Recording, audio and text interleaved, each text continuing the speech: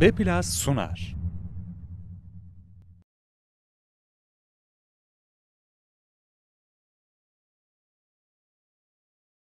Saygıdeğer misafirler, hepiniz hoş geldiniz.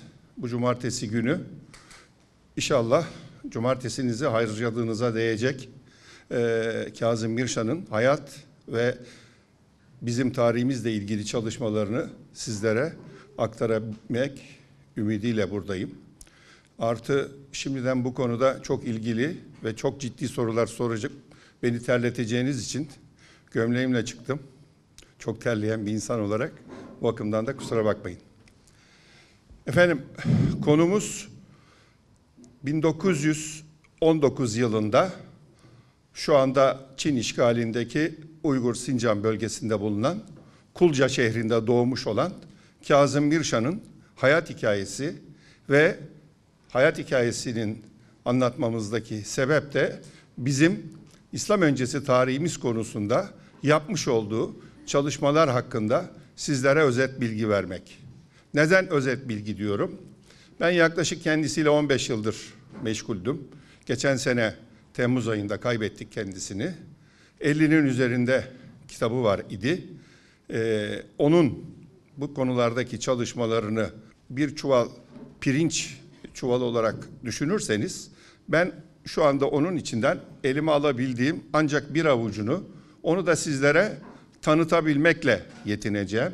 Ama buradaki hedefimiz tabii ki aramızda bulunan genç arkadaşlarımızın özellikle bu konularda önümüzdeki yıllarda kendilerinin üzerine düşen görevi yapıp bu konulardaki çalışmalara destek vermeleri ve ilgilenmeleri. Çünkü bu bizim atalarımızın kendimizin tarihi. Biraz önce bahsettiğim gibi Kazım Mirşan bir tümenlik türkü ailesi Sovyetlerin daha doğrusu e, Rus Çarlığı'nın işgal ettiği Tümenlik'ten e, ailesiyle beraber Kulca'ya göç ediyorlar. Kulca'da da hocanın doğumundan 10-15 sene önce Çin varlığı baş gösteriyor.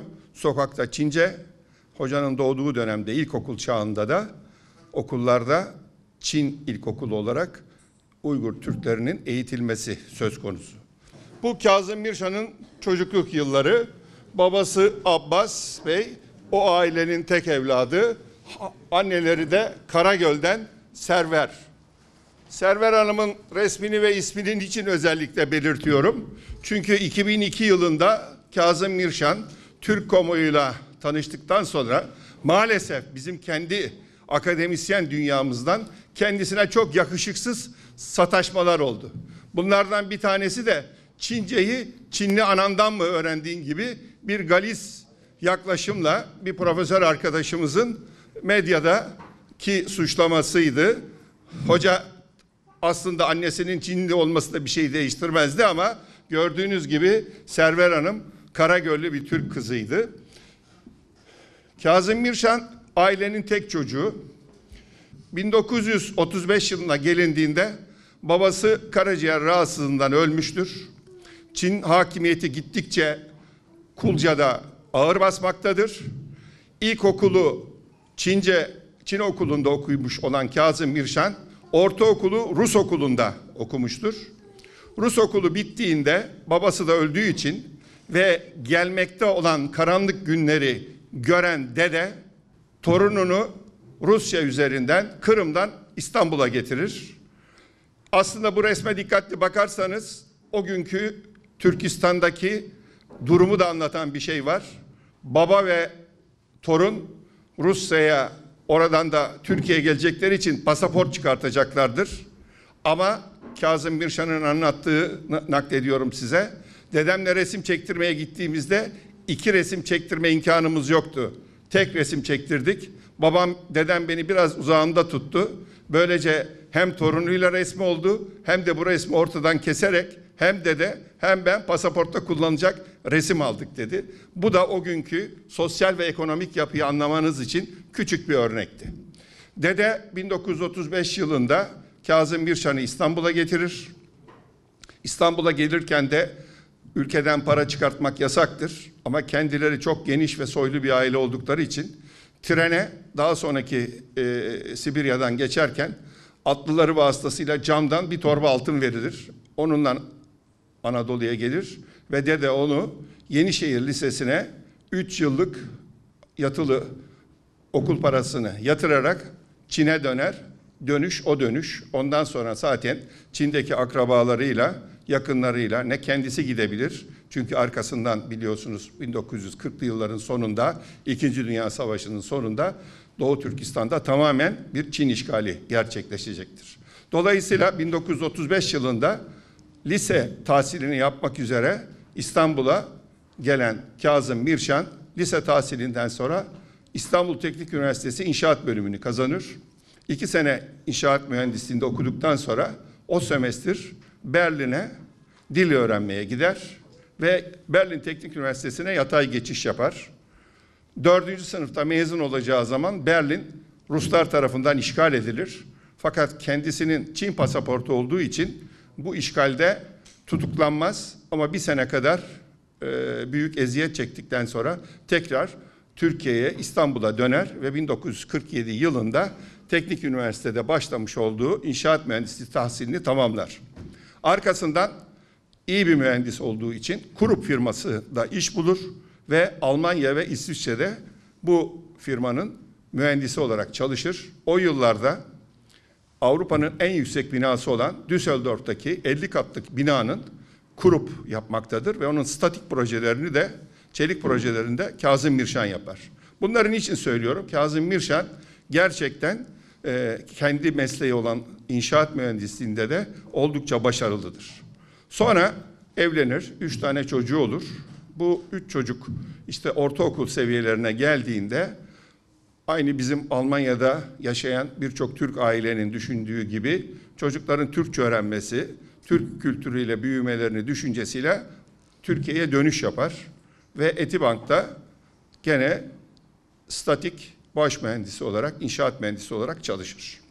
İşte burada bizimle alakalı yani Kazım Hoca'nın tarihle alakalı çalışmalarının başlangıcı şudur. Ankara'yı bilenler Etibank Genel Müdürlüğü ile Dil Tarih Coğrafya Fakültesinin karşılıklı olduğunu bilirler. Hoca da proje mühendisidir. Proje mühendisliğinden arta kalan zamanlarda sıkılır. Yolun karşısında Dil Tarih Coğrafya Fakültesine giderek kendisinin Orta Asyalı Uygur Türkü olduğunu, oralarla alakalı kitap varsa alıp okumak istediğini söyler. Bir doçent arkadaş bazı kitaplar verir. Sonra o kitaplarla 2-3 hafta sonra tekrar doçentin yanına gider. Der ki ya burada bir sürü çeviri hatası var. Şu kelimenin anlamını böyle kullanmışsınız. Halbuki bizde böyle söylenmez. Neye dayanarak söyler bunu hoca? Çünkü kendisi Tümenlik Türkü bir aileden gelmektedir. Uygur Türkü olarak büyümüştür. Annesi Karaköl'dendir. Dolayısıyla Beşiği o yöredeki çeşitli Türk lehçeleriyle büyüyerek e, büyümüştür. Kazak ve Kırgız toplumlarıyla devamlı deri alışverişinde bulundukları için ve o devirlerde bugünkü gibi sınırlar ve devletler söz konusu olmadığı için Türkistan'daki Türk toplumlarının tamamının lehçelerini küçükken kapmıştır. İşte biraz önce bahsettiğim gibi çocukken ilkokulda Çinceyi, ortaokulda Rusçayı, Türkiye'ye geldiğinde Anadolu Türkçesini, daha sonra da Almanya'da Berlin Teknik Üniversitesi'nde Almancayı ve mühendislik çalışmaları içinde İngilizce ve Fransızcayı öğrendiği için çok geniş bir dil perspektifiyle ve memleket hasretiyle bulunduğu o yıllarda Dil Tarih Coğrafya Fakültesinden aldığı bu tarih kitaplarında önce dil yanlışlarını bularak bu işe adım atmıştır. Şimdi Kazım Mirşan'ın e, söylediğim gibi 1960'lı yıllardan Ankara'ya dönüşüdür. O yıllardan ölmü, öldüğü 1916 yılına kadar ki bizim bu afişlerdeki resmi en son beni Gemiş'te ziyaret ettiğindeki resimdir. Ölümünden dört gün önceydi zannediyorum. O gün bile benle tarih konuşmaya çalışıyordu ki kendisinin hali perişandı. Birçok arkadaşımız gördü. Bütün vücut kanamış durumdaydı. Zaten resimdeki durumunu görüyorsunuz. 98 97 yaşındaydı. O zamana kadar yaptığı çalışmaları bir bütün olarak anlatabilmemiz için önce bu işi e, bir başlangıcı olması lazım. O da şu, Şimdi Kazım Mirşa'yı anlatmak için benim uyguladığım metot bugünden geriye doğru giderek değil. Onun başlangıç noktası olarak aldığı yerden bu tarafa gelirsek sizler tarafından çok daha rahat anlaşılacak. Şimdi bakın şu anda gösterdiğim ve bundan sonra vereceğim bilgilerin Kazım Mirşan'la bir alakası yok. Bunlar jeofizik ilminin e, bilim ta, e, dünyasının bize ve bahşetmiş olduğu bilgiler. Şu gördüğünüz Taba Gölü ki 110 kilometre boyundadır. Sumatra adasındandır Endonezya'da. Bu gölün bulunduğu yer aslında bir volkan gölü. Ve burası 110 kilometre boyundaki bu gölün olduğu yerde 110 kilometre boyunda bir yer yarığı yani süper volkan dediğimiz 75 bin sene önce bir patlama oluyor.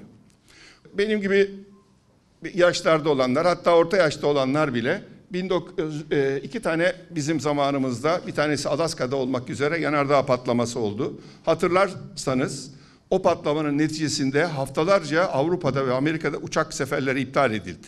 Yani onun e, püskürttüğü tozlardan motorlarının etkilenip düşmesi korkusundan dolayı.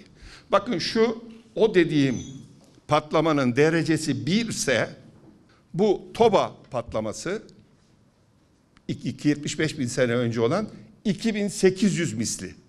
Yani felaketin veya yanardağ patlamasının etkisinin ne kadar büyük olduğunu göstermek istedim.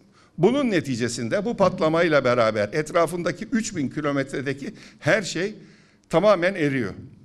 Artı Hindistan ve Çin 15 santim kalınlığında külle kaplanıyor. Bakın orada birçok e, antropolog ve tarihçinin e, araştırmalarına göre de dünya nüfusu o gün için yani 75 bin sene öncelerde 60 milyonken bu patlamadan yaklaşık 3-4 bin sene sonra çünkü gittikçe bir 15 derecelik ani soğuma olduğu için buzul çağına giriyoruz. 60 milyondan doğurabilecek rahim sayısı 500. Şimdi bu çok önemli. Ne demek? Kabaca 2000 kişi sağ kalmış. Bunun bini erkek, bini kadın. Bin kadının da çocukları ve yaşlılara ayırdığınız zaman 500 kişilik kısmından insan nesli tekrar 75 bin sene sonraki bu e, kıyametten sonra üremeye başlıyor. Bakın bu 75 bin sene önce patlayan Toba'nın yapmış olduğu en büyük etkilerden bir tanesi bin yıl boyunca süren kar yağıştır. Bunun neticesinde deniz seviyeleri o günkü halinden 300 metre kadar aşağıya düşüyor. Çünkü hepsi kar olarak kutuplarda ve 2000 metrenin üzerindeki bütün dağlarda yani Uludağ 2400 ise 2000 ve üzeri sürekli buzul olarak kalıyor. Bu ne demektir? Bakın şu, bu haritaya dikkatli bakarsanız e, Berlin'de 300 metre yüksekliğinde buzul olduğu ve Berlin'e gidenler bilirler çok büyük bir sürüklenmiş kaya vardır. O buzullarla geldiğini gene jeofizik biliminin e, verisidir. E, Amerika'da göller bölgesi dediğimiz yer tamamen buzul altındadır. Çünkü zaten o göller bölgesinde yapan bu buzulundan sonraki haldir. Yani Michigan eyaletine kadar Washington'u da içine alan yer buzulda. Bu tarafta da Rusya'da da Kazan şehrine kadar buzulla kaplı. Yani şunu söylemek istiyorum. Hele İsveç, Norveç, Danimarka gibi yerler tamamen buzun altında. Bugün insanoğlunun kara olarak kullandığı toprakların birçoğu buzul altında kalınmış. Ve bunun neticesinde de insan neslinde çok ciddi bir azalma meydana geliyor. Bu 75 bin sene önce başlayan bu hadise 17 bin seneye kadar devam ediyor. Yani ilk 17 bin senesinde aynı şiddete devam ediyor. Ama 17'den sonra bu tarafa doğru başlıyor küresel ısınmanın neticesiyle bu buzulların erimesi. Buraya kadar anlattıklarım benim tamamen jeofizik biliminin bize öğrettikleri olmuş yaşanmış şeyler.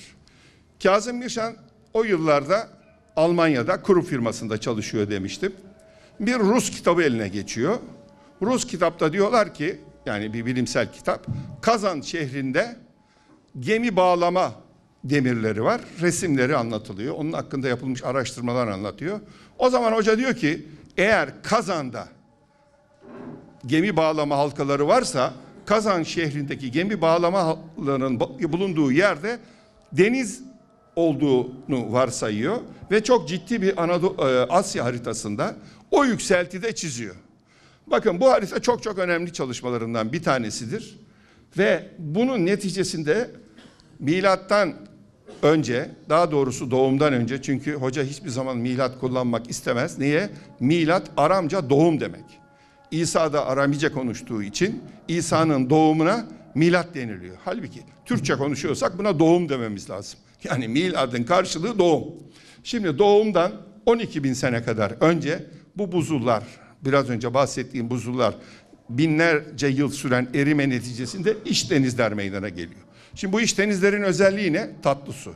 Tatlı su demek hayvanın, insanın ve bitkinin ihtiyacı görülüyor demek. Evet denizlerde de su var ama ondan hayvanınıza veremiyorsunuz, siz içemiyorsunuz ve tarım yapamıyorsunuz. Ama bunlar buzulların eridiği sular olduğu için iç denizler hepsi tatlı su. Şimdi bu 17 bin sene önceki halde Kazım Hoca böyleyse dediği zaman şu çıkıyor.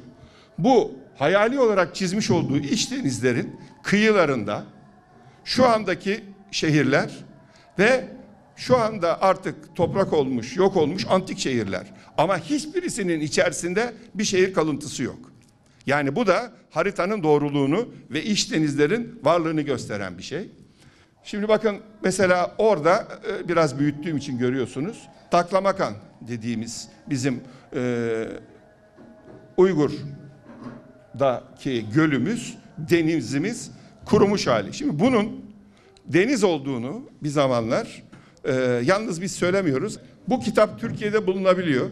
Alıp okursanız bakın iki tane Amerikalı jeofizikçi 1990'ların sonunda hem bizim boğazlardan nasıl Karadeniz'e su aktı, boğazlar ne zaman yarıldı onun bilimsel araştırmasını yaptılar. Hem de geçip Taklamaka'nın araştırmasını yaptılar ve Taklamaka'nın gerçekten bir deniz olduğunu sonradan suların buharlaşmasıyla çöl haline geldiğini de söylediler. Yani şunu söylemek istiyorum. 1970'lerde Kazım Hoca'nın ortaya koyduğu mesela bu görüş 2000'li yılların başında Amerikalı iki tane jeofizikçi tarafından ki birbirlerinden hiç haberleri yok bilimsel olarak da ispatlanmış oldu.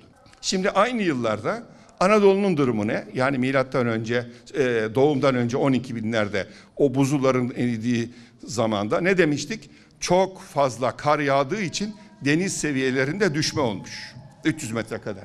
Dikkat ederseniz Ege Adası, Bodrum gibi civarı kara. Yani orada şu anda e, Yunanlılara ait olan adalarla ana karamızın arasında deniz yok. Artı Tuz Gölü'ne dikkatinizi çekerim. Tuz Gölü o gün için büyük bir göl ve Çatalhöyük dediğimiz hani bizim eski antik şehrimizde o kurumakta olan yer. Kırmızı nokta Çatalhöyük'ü gösteriyor. Peki bu harita bizim İstanbul Teknik Üniversitesi Jeofizik Kürsüsü'nün bir yayını ve araştırması. Orada bir açık maviyle görülen kısmında şu andaki Tuz Gölü. Yani e, son buzul çağından sonra oluşmuş olan iç deniz diyelim. Çünkü Tuz Gölü'nün bakın en az 20 bir üstünde büyüklüğünde bir deniz var orada. O kuruyaraktan tuzu da yükselmiş şu anda Tuz Gölü haline gelmiş. Bu söylediğim dönemin sonunda 12 bin yıl doğumdan 12 bin yıl sonra önce Asya'da erime ciddi olarak görülüyor. 10 bin sene Avrupa'da, 8 bin sene de Amerika'da başlıyor. Yani coğrafya olarak en erken insanların yaşamasına uygun olan ortam bugün Asya kıtası dediğimiz büyüklüğü 40 milyon kilometre ama Asya ile Avrupa bizim kitaplarda ayırdığımız bir şey. Aslında bunları birbirinden ayıran Ural Dağları öyle bildiğiniz gibi e, Altay e, çok yüksek Himalayalar falan gibi dağ değil. Çok yassı yağlar. Orada yaşarsanız oradaki dağ olduğunu bile anlamıyorsunuz. Dolayısıyla Avrupa ile Asya'yı da tek katı olarak kabul ederseniz 50 milyon kilometre karelik bir toprakta son buzul çağından sonra erime en önce orada başladığı, iç denizler orada oluştuğu için bakın neler meydana geliyor. Bunun güneyinde bir tek sıra dağımız var. Şu anda Kırgızistan'ın hemen hemen tamamı bir kısım Kazakistan'da bir kısmı da e, şeyde Özbekistan'da Alatau Dağları. Bunun üzerinde 7439 metre yüksekliğinde tepe var. Düşünebiliyor musunuz?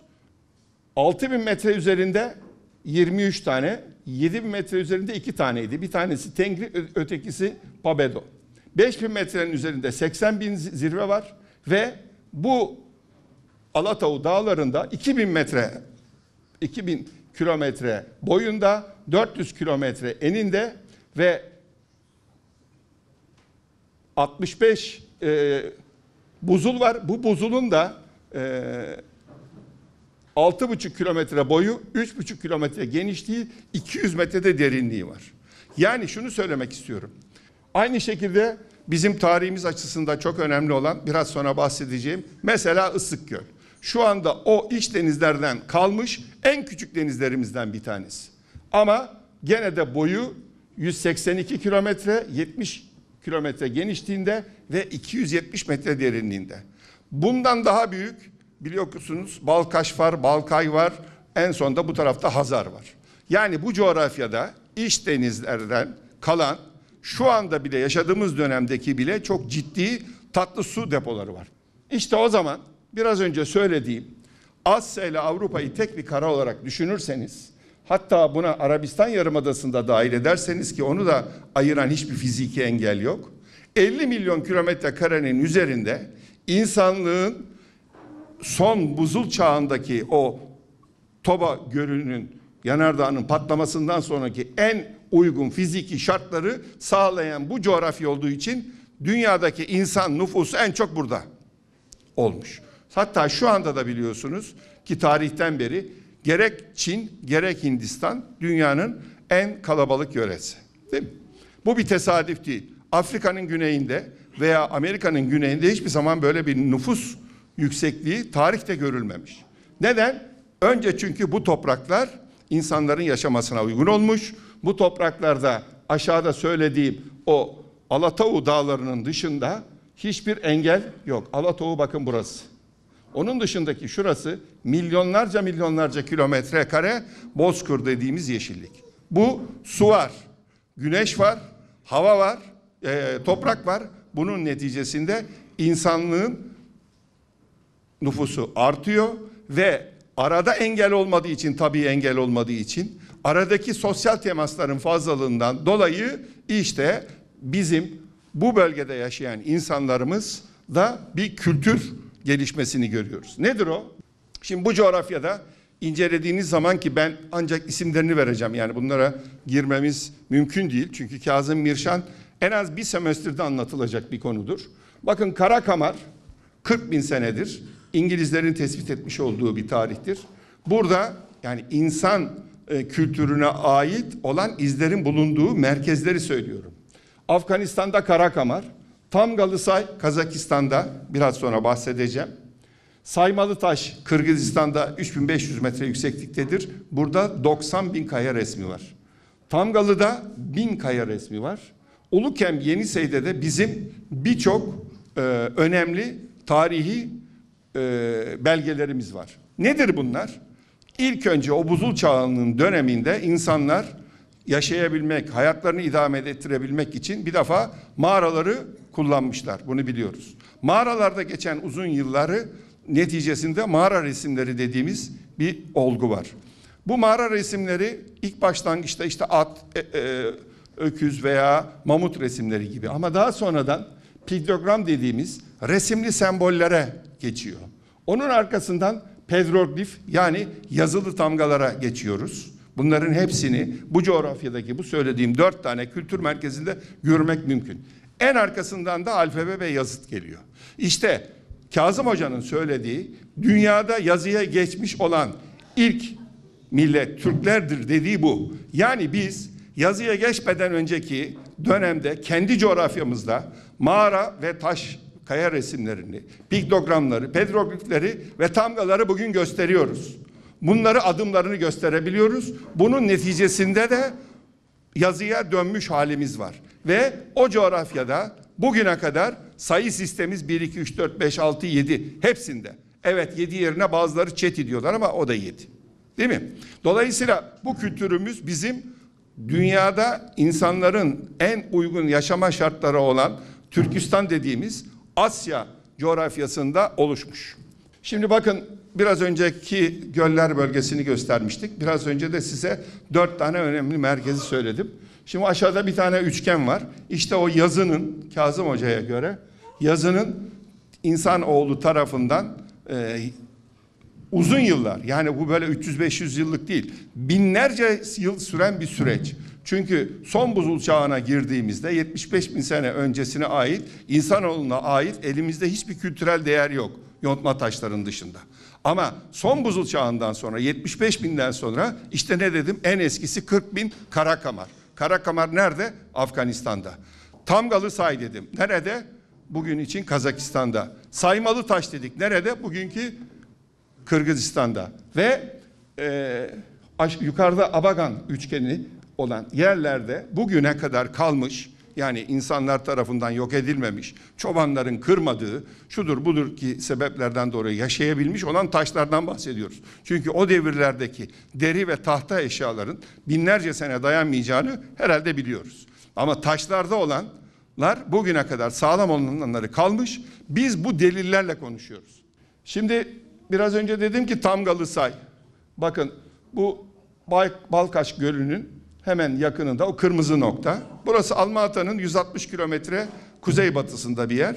Biz 2004 yılında e, burada da olan Zeki Bey ve Oğuz Beylerle beraber bir 14-15 kişilik grup Kazım Hoca'yı e, Arslan Bulut'u gazeteci olarak gazete, e, resim çekmesi için de Servet Somuncuoğlu'nu alarak bir teknik gezi yaptık. Bakın şunu da itiraf edeyim. 2004 yılına geldiğimde ben hocayla yaklaşık 10 senedir meşguldüm. Fakat o kadar çok şey söylüyordu ki içimde büyük bir kuşku vardı. Ya bunları yalnız Kazım Birşan mı biliyor? Bu kadar akademimiz yerimiz var. Niye altın elbiseli adamdan bahseden yok? Niye hiçbir kitapta yazmıyor? Tamgalı say deniyor. Tamgalı sayı efendim ben işte İsviçre'deyken oradaki Musa Bey isimli bir Kazak asıllı profesörle temasa geçtim. Burayı Maksimova isminde bir Rus Kazak vatandaşı diyelim 52 yılında eşek sırtında kadın gitmiş.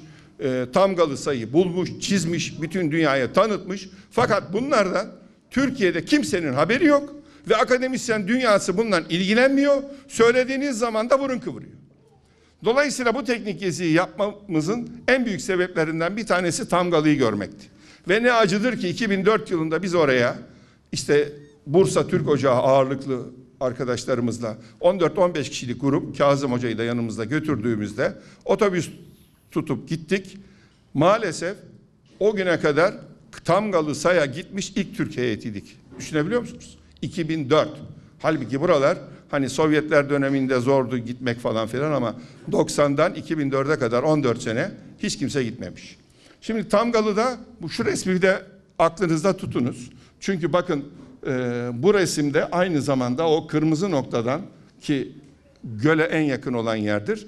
Bakın oradan sonra hiçbir tarihi eser yok. Bu Kazak Bilimler Akademisi'nin tespit etmiş olduğu Kazakistan'da tarihi eserlerin yerlerini belirtiyor. O üçgenlerin hiçbirisi.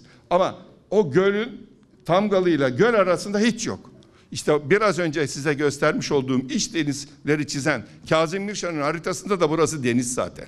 Deniz olduğu için antik dönemde hiçbir tarihi eser yok. Yani bu da söylediğimizin bir tane bir başka ispat. Bu Tamgalı'nın girişi 2004 Kazım Hoca ile beraberiz. Almata'nın 160 kilometre kuzey batısında böyle granit yapraklar. Yani bugün çocuklarımız defter yaprakları kullanıyor. Burada Musa Bay'ın ve Maksimova'nın araştırmaları ve söyledikleri doğumdan önce 10 bin burası. Çünkü bu granit üzerine taşla vurarak çizdiğiniz resimlerin e, rengi ilk 3-4 bin seneden sonra değişmeye başlayıp 10 bin seneden sonra bu hale alıyormuş. Bu tamamen jeofizik ve e, arkeolojik çalışma tabii. Şimdi bu e, granit yaprakların üzerinde bugüne kadar kalmış 10 bin tane piktogram ve pedroglif var. O gün bize mihmandarlık yapan ve orası konusunda doktorası olan Alexander ismindeki bir Alman asıllı Kazak. Maalesef bakın şu gün dahi 186 tane üniversitemiz var. Bir tane Tamgalı konusunda çalışan doktora talebemiz yok. Bu Maksimova'nın işte orayı bulduğumda 2000 1952 yılında kara kalemle çizmiş olduğu resim. Görüyor musunuz? Artık burada kayanın üzerinde bir at veya bir eşek resmi yok. Burada artık başka şeyler anlatılmaya başlıyor. Resimle. Evet yazı bulunmamış ama düz resim de değil veya resim çizemeyecek kadar da geri bir kültür değil. Yani yazıya doğru geçmekte olan bir kültürün bir safhasını görüyoruz. Mesela bu kün, ay bu konuda da Feyza Daldal Hanım'ın çok güzel bir kitabı vardır. Dediğim gibi ben bunları size göstermekle yetiniyorum. Hiçbirisi üzerinde çünkü 15 dakika konuşsak bir saat sonra biliyorum ki sabrınız taşacak ve biz anlatmak istediğimizin onda birini anlatamayacağız. Bakın burada bir şeyi dikkatinizi çekeyim. Bütün hayvanlarda özellikle öküz veya koç gibi hayvanlarda abartılmış çok uzun boynuzlar var. Şimdi bunların ne için olduğunu hoca e, düşünmüş. Burada da gene Alexander hocayla bir piktogram üzerinde çalışıyorlar. Evet şimdi Saymalı'ya geldik. Bu Kırgızistan'da 3700 metre yüksekliğinde bir vadi. Burada 90 bin resim var beyler. Ve senenin bir tek ayında girebiliyorsunuz. Onun dışında kar. Çok yüksek. Orada at arabası resimlerini, çizimlerini görüyor musunuz? Yani at eşek resmi değil bunlar. Burada muazzam araştırmacısının ilgileneceği kültürel değerler var. Ve gene dikkatinizi şeye çekiyorum. Hiçbir zaman olamayacak şekilde boynuzlar. Göğü gösteren, kendi boyundan uzun boynuzlar. Bunlar gene Abagan bölgesindeki sın taşlarımız. Bu gene üvey yazıtı çok çok önemli. Ama e, maalesef ve maalesef şu anda o bölgede giden kamyonların, otobüslerin durak yeri olup açık hava tuvaleti olarak kullanılan bir yer. Bir başka kültürün devletin elinde olsa bunun orada kanun, cam kavanozun içine alınması lazım. O kadar önemli. Bunlar bizim ilk yazılarımız. Yani yazıya geçmemiz de tamgalarımızın da bir ömrü var. Yani bin sene önceki e, nasıl e, Avrupa ile bugünkü farklı oradaki gelişmemiz de adım adım ilerliyor. İşte buralardan çalışması neticesinde sene 1960, sene 2017 aradaki 50-60 senelik Kazım Hoca'nın çalışmalarının en önemli hususlarından bir tanesi. At ta binen, sembolik olarak gözüken bir insan görüyorsunuz. Ayakları, atı, kolları. Şimdi bu ilk önce at olarak ama at hayvanını değil. Hani dolmuşa bineriz de bizi şuraya atı ver deriz ya. Beni buradan al bir yere götür manasında. O atmak, bir yere atılmak, bir yere gitmek manasında ve bunun diğer zamanlar içerisinde nasıl değiştiğini ve hemen altındaki mesela birçok yazıda göreceğiz. Belki bugün ben de göstereceğim size. Yani at dediğimiz bu harfin, tamganın nasıl geliştiği. Her bir harf için bu şekilde çalışması var ve bunlar akşamdan sabaha yapılacak işler değil. Bunun neticesinde hocanın kitaplarındaki açık taş alfabesi dediği ilk alfabemiz. Şimdi bakın bu da hocanın ifadesine göre artık tamgalardan biraz önce üvey yazısında gördüğünüz gibi yazı yazılmaya başlanmış. Bir kullanılan alfabe var. Ama bu alfabe ilk alfabemiz, en eski alfabemiz. Bu Etrüksler'e gittiği zaman değişecek. Çünkü arada binlerce zaman artı on binlerce kilometre var. Mesela burada öylesi harfler var ki soru işareti gözüken bir harf var. Görüyor musunuz yanında? At. Biraz önce göstermiştim. Onu her yazıda göreceksiniz. Her alfabede göreceksiniz. R aynı şekilde her yazıda göreceksiniz. Şimdi bu eserlerin çıktığı yerler biraz önce gösterdim size. İşte Saymalı dedim, Tamgalı dedim, Türkistan bölgesi.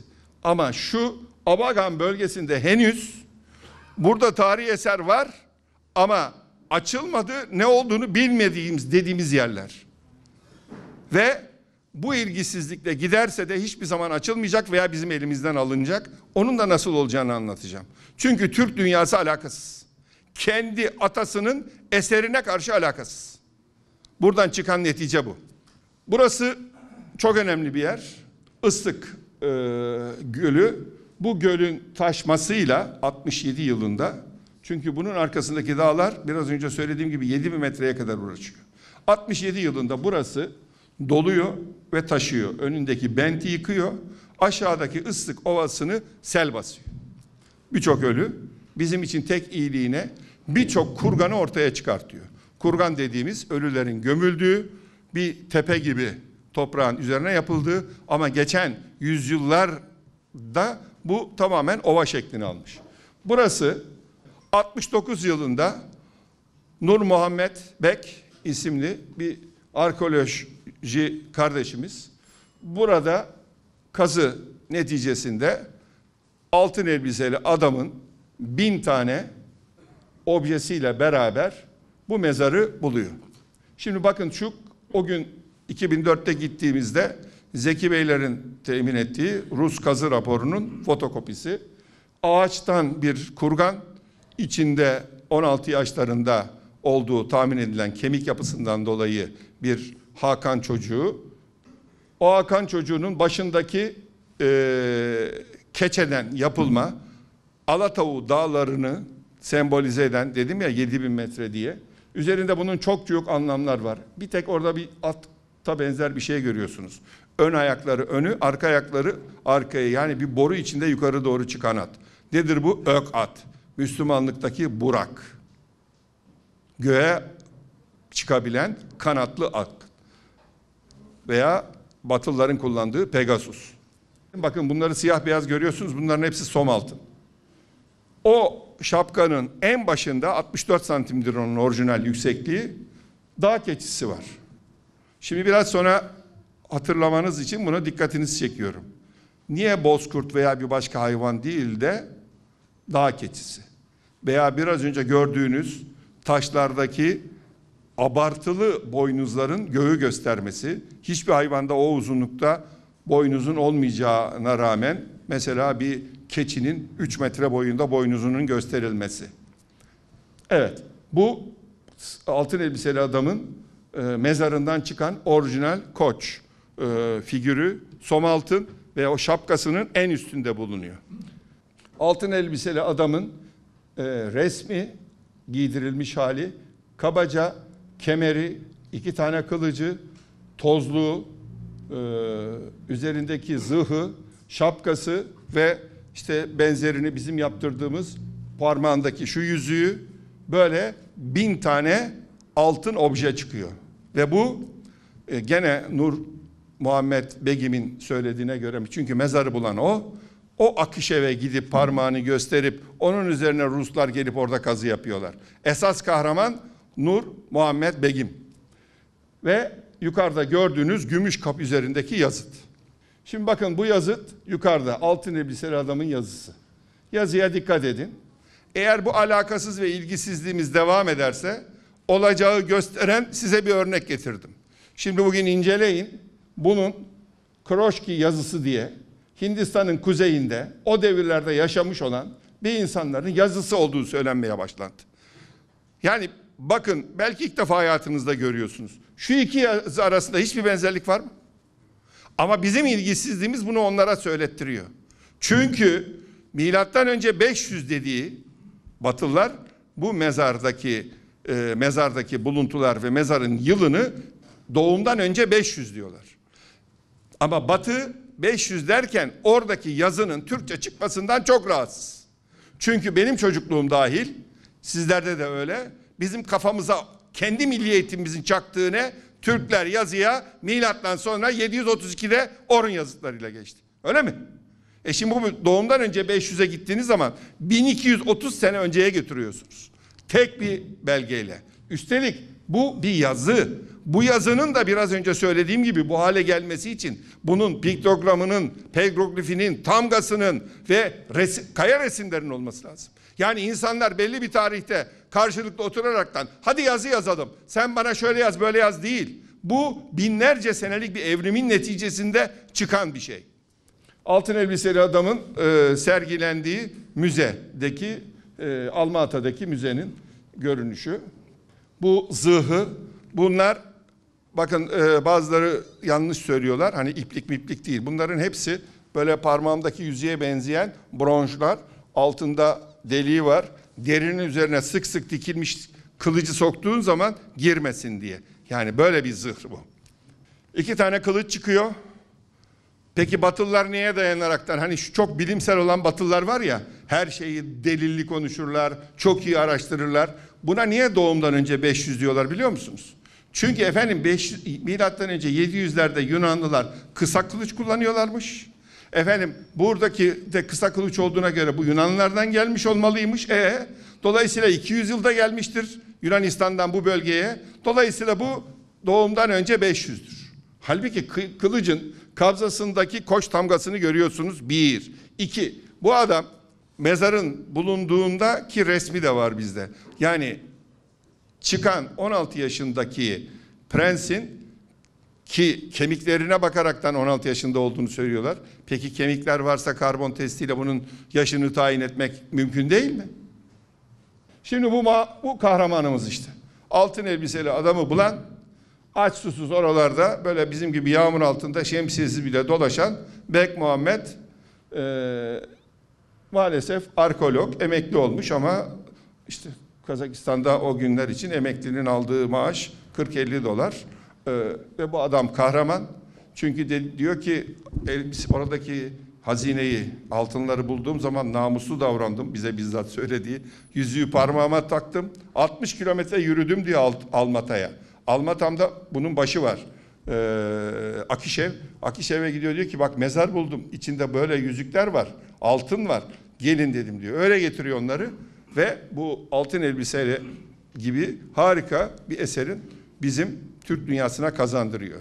Peki burada şunu soralım. Acaba o bin tane altın objeden bir tanesi Yunanlıların herhangi bir mezarında mesela bir ayakkabıların tokası altın çıkmış olsaydı şu anda bütün dünya bilirdi değil mi?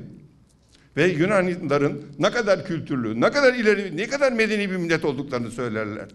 Ama bizim atalarımızın prensinin, çünkü babanısının mezarı soyulmuş, onu da anlattı. Yani bu babanın mezarı değil, bu oğlunun mezarı.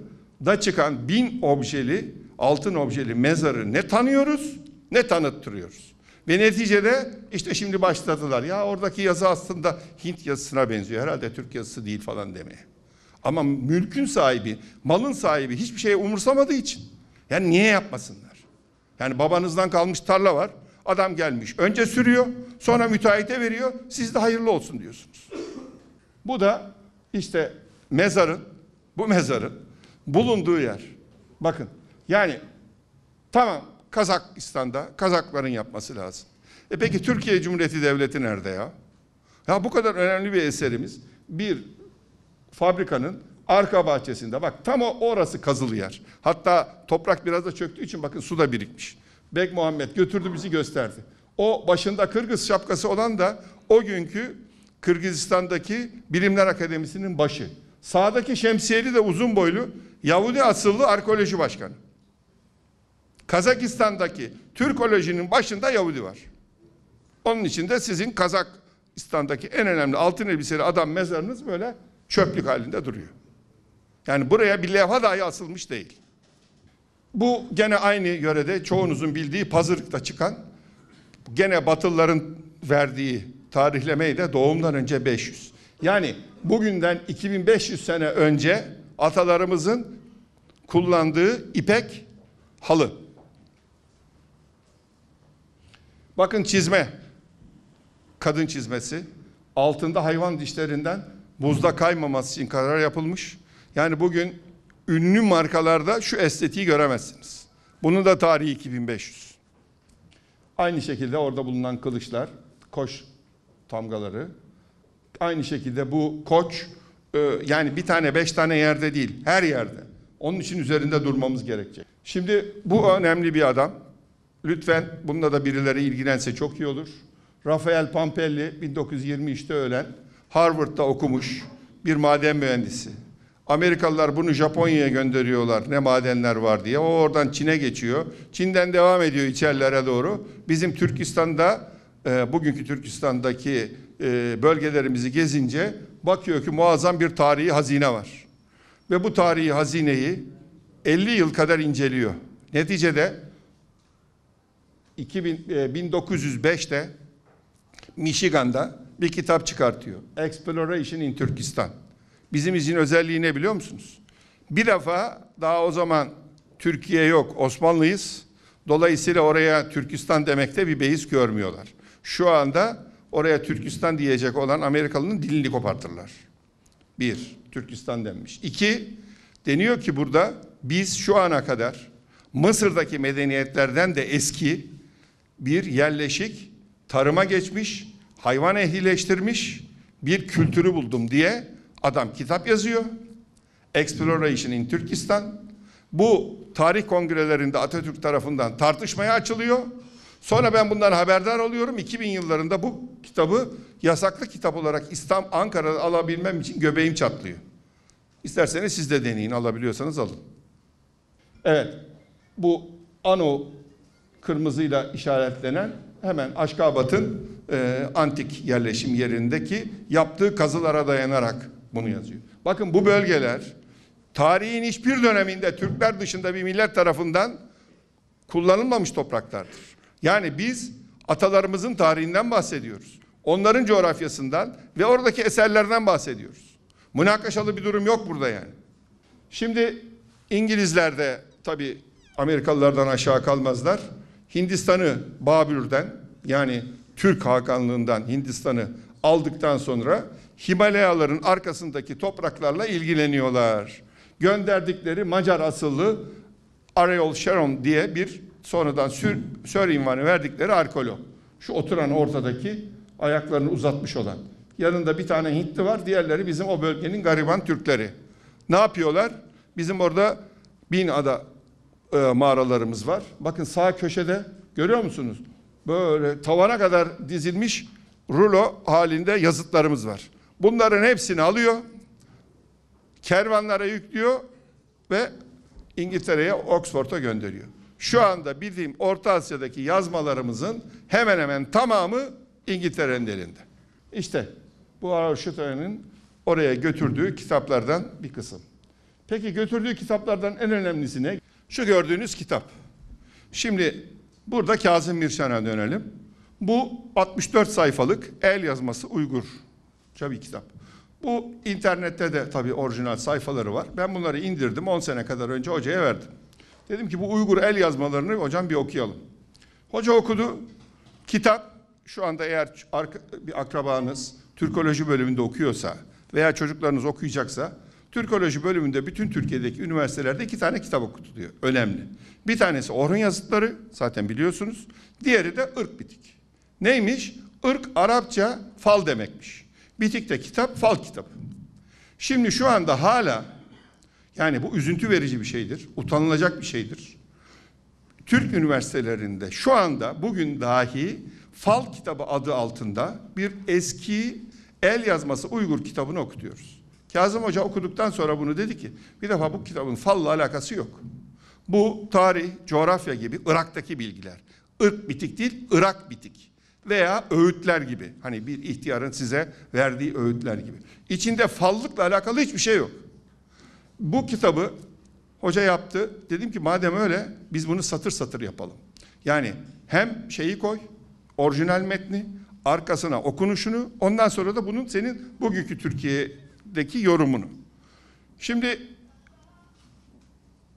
ilgilenirseniz şu anda okutulan Talat Tekin'in Fal Kitabı ismindeki bu kitabın mesela ilk sayfasını söyleyeyim size. İlk sayfasındaki ilk cümleyi diyor ki ben Çin prensiyim otururum mutluluk duyarım.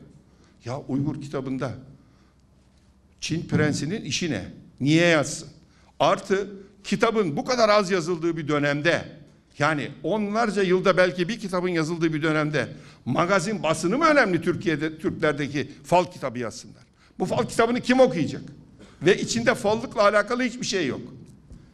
Bakın hoca bunu şimdi hocaya biz neden 20 senedir, 20 seneye aşkın bir süredir hizmet ediyoruz veya bağlı kalıyoruz? Şundan dolayı. Kazım Hoca çok sağlamcıdır. Çok sağlam basar.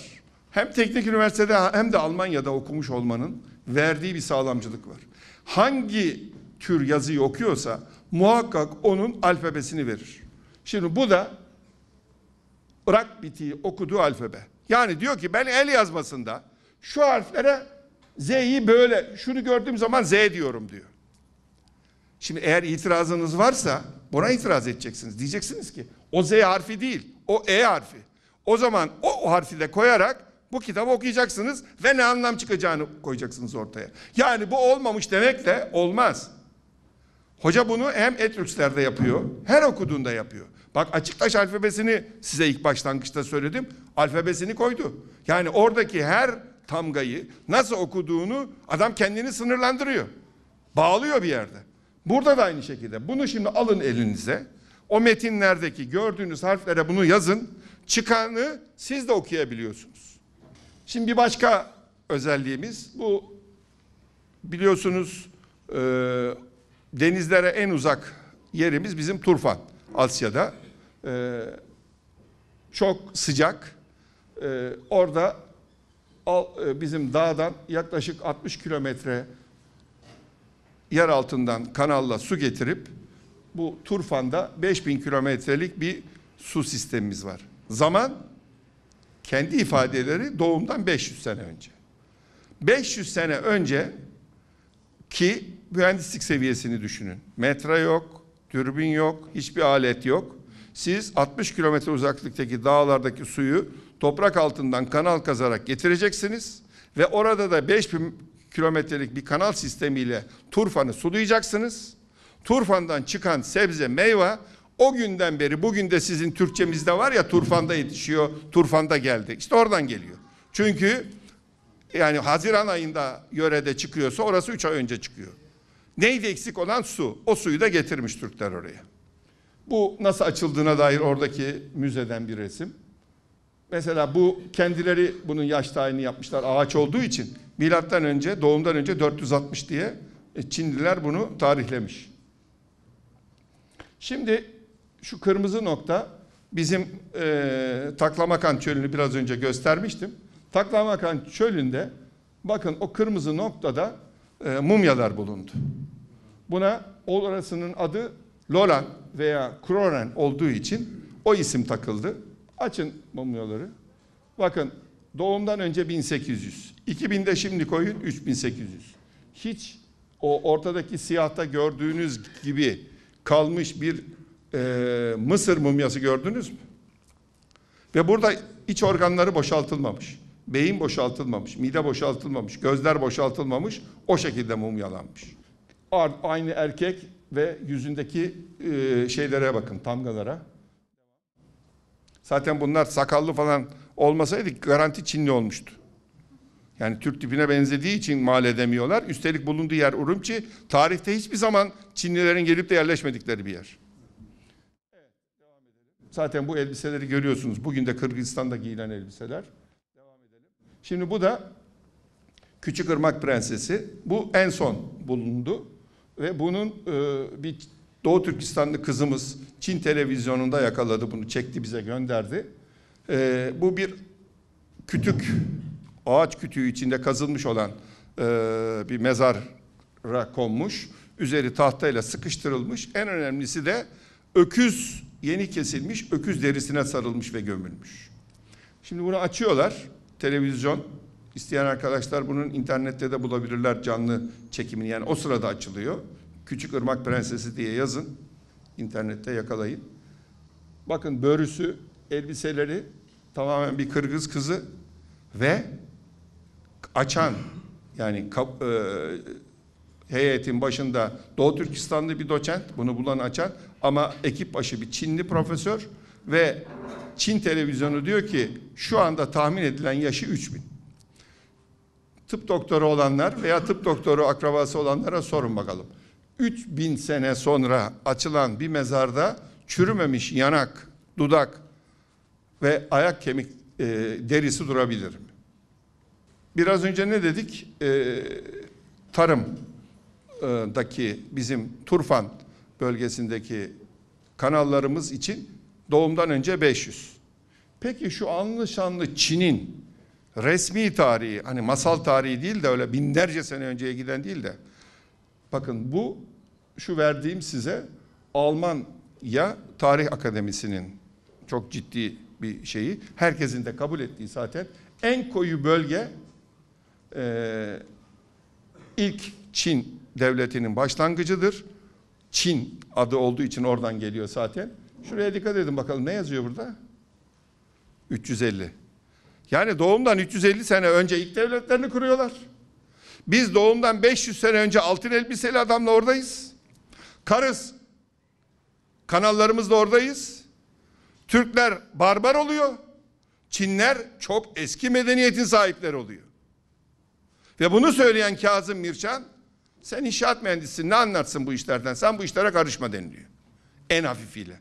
Diğer hakaretleri söylemiyorum. Ve bu da Çin'de Pekin'e gidin, tarih müzesinde kendilerinin ilk yazıya, daha doğrusu yazmıyorlar biliyorsunuz Çinliler. Çinliler çiziyor. Yani ev yazacak, ev yazmıyor, evi çiziyor. Adam diyecek, adam yazmıyor, adamı çiziyor. İlk evresindeler. Yani bizim de geçmiş olduğumuz yazı yolculuğunun ilk evresindeler. Belki 5000 sene geriler. Belki 3000 sene gerideler. Ama bugün de hala öyleler. Ve bakın tamgalara. Bu tamgaları nereden hatırlıyorsunuz? Bizim Türk tamgaları. Peki şimdi nasıl yazıyorlar? Geçelim. Bakınız en başta pirinç. Görüyor musunuz? Adam pirinç yazacak. Pirinci önce böyle yazıyor. Sonra böyle yazıyor. Şimdi böyle yazıyor. Fil yazacak. Fili çiziyor. Çinli. Bugün şöyle yapıyor. At arabası yapacak. Bakın bugün böyle çiziyor. Yani yazmıyorlar, çiziyorlar. Bu Atatürk'ün maalesef ölümüyle tarih kitaplarımızdan kaldırılan Atatürk'ün temel fikirlerinden bir tanesi. Daha doğrusu Türk tarihi. Nedir? Türkistan dediğimiz Orta Asya'da biraz önce size delillerini gösterdiğim noktalarda gelişen Türk medeniyeti ama küresel ısınma o gün için iç denizlerle yaşamaya imkan verdi. Fakat binlerce sene geçtikten sonra yani o milattan doğumdan önce 12 binler 7 binlere, 6 binlere, 5 binlere, 2 binlere gelmeye başladığında işte Aralından, Hazarından, Baykal'ından, Balkaş'ından hepsi küçülmeye başlayıp su kaynakları yetersiz kalmaya başladıkça insanların gidebilecekleri coğrafya neresi? Zaten kendisinden sonra yaşama alanı e, son buzul çağından dolayı ortaya çıkmış olan buzul çağında bu İskandinav ülkeleri şuraların tamamen buzun altında olduğu bölgelerin boşalmasıyla bu boş topraklara doğru göç. Şimdi bakın bu göçte her bir nokta doğru. Ve bunu söylediği zaman 1938 Atatürk'ün bunları koyduğunda. 38'de bu konuştuklarımızın hiçbirisi ortada yok. Şimdi bakın bu Orta Asya seyahatinden sonra biz e, Futart yazıtlarını hocaya getirdik. Futart yazıtları ne olduğunu şimdi söyleyeceğim size. Şu gördüğünüz İsveç, Norveç, Danimarka, Almanya'daki o siyah siyah noktalar var ya. Şu anda dünyada Futart dediğimiz alfabeyle yazılmış 4000 tane yazıt var. O da bunların haritası. Bu yazıtları hoca okudu ve bunların Türk yazıtı olduğunu tespit etti. Ama gidelim yerinde görelim, üniversitelerinde araştırma yapalım. Ben hocayı aldım. 2006 idi galiba, yanlış hatırlamıyorsam. İsveç'e ve Norveç'e gittik. Hem Uppsala Üniversitesi'nde, hem Stockholm'de, hem Bergen'e, hem de bu yazıların ilkinin bulunduğu Gotland Adası'na gittik. Gotland Adası, bakın şurası. Baltık Denizi'nin ortasında. Adanın en büyük özelliği o kadar kuzeyde olmasına rağmen kar yağışı yok. Yani ılıman bir iklime sahip Gotland'den dolayı. Artı antik mezarlarda ölülerin üzerine koyun postu örtme adeti var. Yani koyuna aşina bir toplum. Antikten bahsediyorum şimdi değil. Ki Avrupa'da bu biliyorsunuz sığır ve domuzdur genellikle vesaire. Artı burada işte ilk buldukları bir kilver yazısı var. Bu. Şimdi bu ilk bulunan yazıt. Tabi Batılı bunu bulduğu zaman ne yapacak? Bunu bizimkiler yazmıştır. Ya Almandır, ya Fransızdır. Hadi hadi Yunanlı da olabilir. Nasıl okuyacak? Kendileri yazdılar ya. Food, heart. Burada takılıyorlar. Buradan sonrası gitmiyor. Dolayısıyla anlamı da yok Futart'ın. Ama bu alfabeyle o bulunmuş olan 4000 taşa da bugün Furtart yazıtları deniyor. Yani internete gidip Furtart yazdığınız zaman size İsveç, Norveç, Danimarka, Almanya'daki birçok yazıt çıkacak. Hepsinin kod adı Futart. Ve ilk yazıt bu. Kazım Hoca bunu okudu. Bakın e, hepsine numara verdik. Bu okundu. Peki esas e, şimdi bunların okumalarına falan girersek çok uzun ama size bir şey söyleyeceğim. Biraz önce Talas'ı göstermiştim. Hani bir üçgen vardı yazının çıktığı yer diye. Üçgenin bir köşesinde altın elbiseli adam, bir köşesinde de Talas yazıtı vardı. Peki oradaki yazı şu Talas yazıtıyla bunun arasında bir bağlantı görüyor musunuz? Dikkatinizi çekerim. Arada 7-8 bin kilometre var.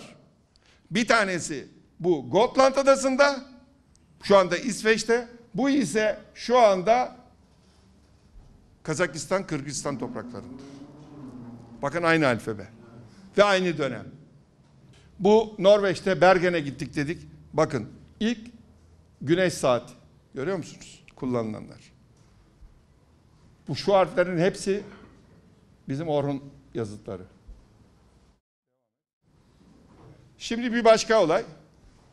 Dedim ki size Kazım Hoca'yı işte Uppsala Üniversitesi'ne gittik. Uppsala Üniversitesi'nde kütüphanede hoca oturuyor. Türk tarih kitaplarının önünde. Ben kitap bulup bulup veriyorum kendisine. Uzatmayalım bu kitabı rastladık. Şimdi bu bir Alman üniversitesinin Ber, e, Bremen Üniversitesi'nin yayını.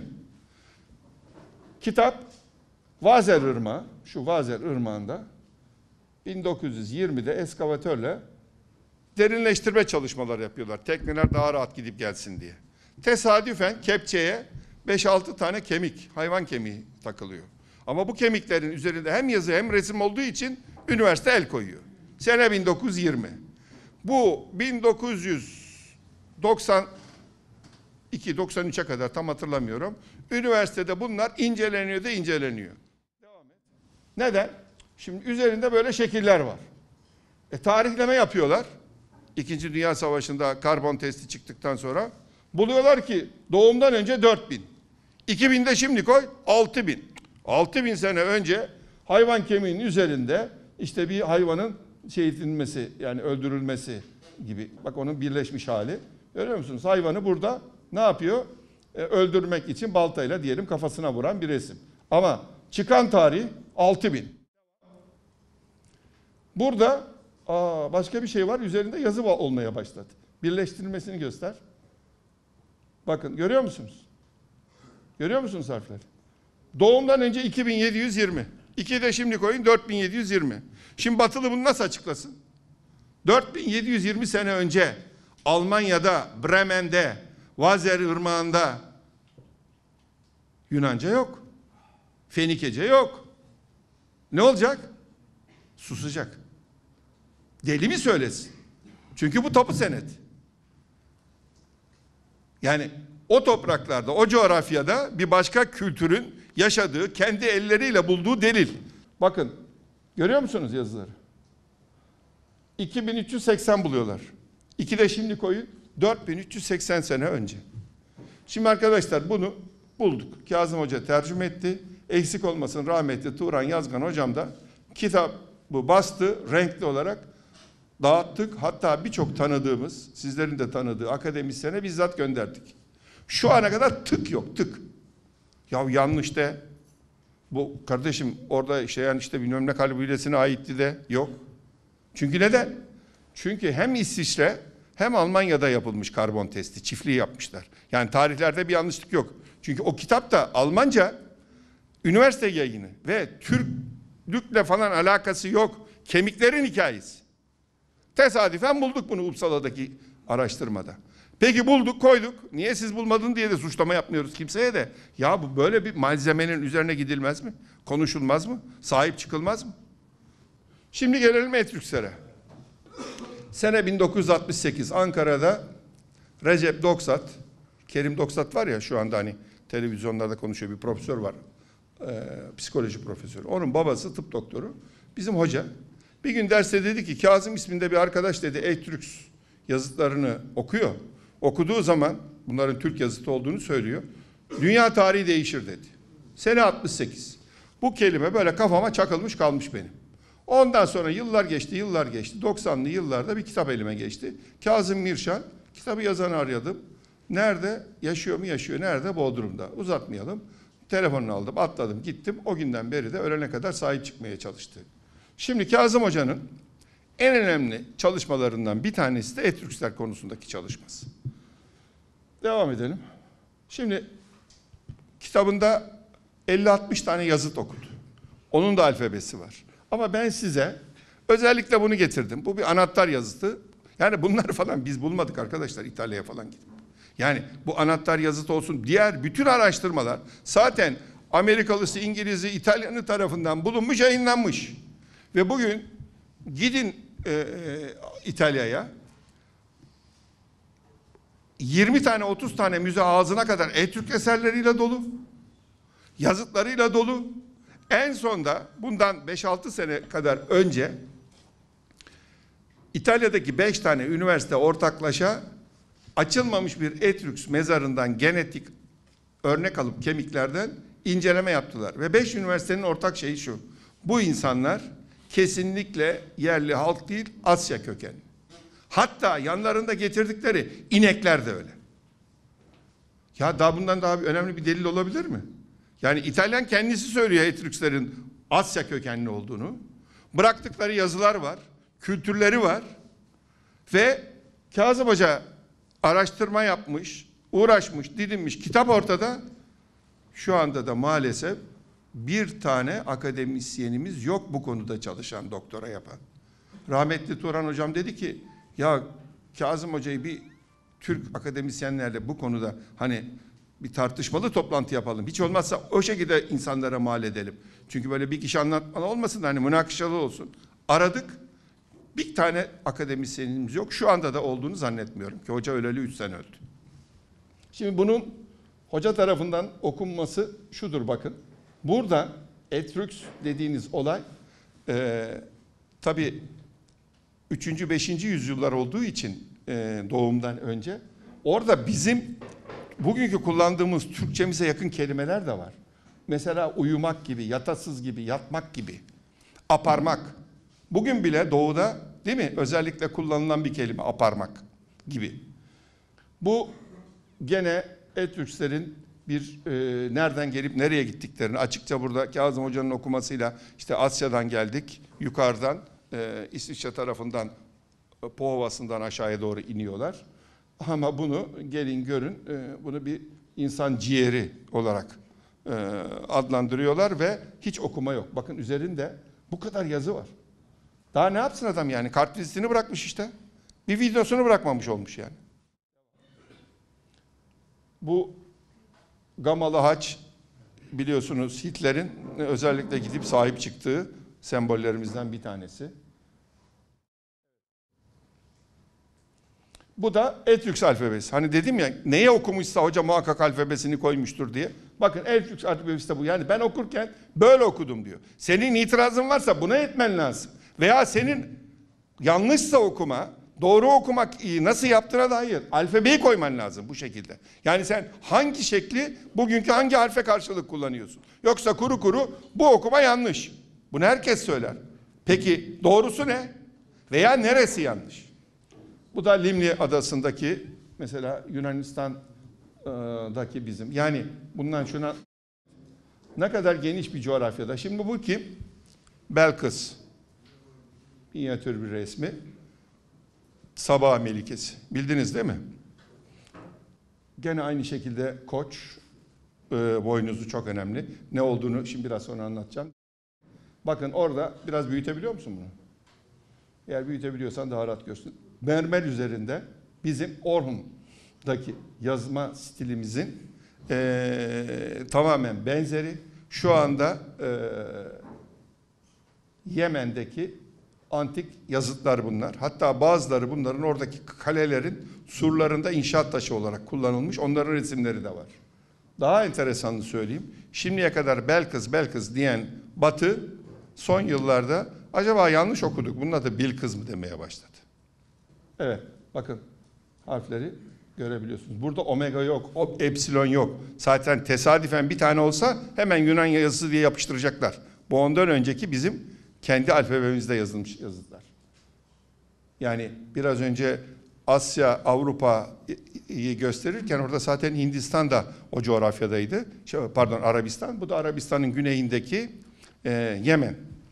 Şimdi bütün bunlardan sonra Anadolu'da hoca e, işte e, birçok bölgedeki e, yazıtı ortaya çıkarttı, söyledi. Doğu Anadolu'dan başlayarak Göbekli Tepe'den başlayarak hepsi.